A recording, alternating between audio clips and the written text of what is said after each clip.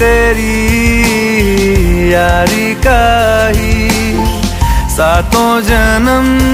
हकदार हूँ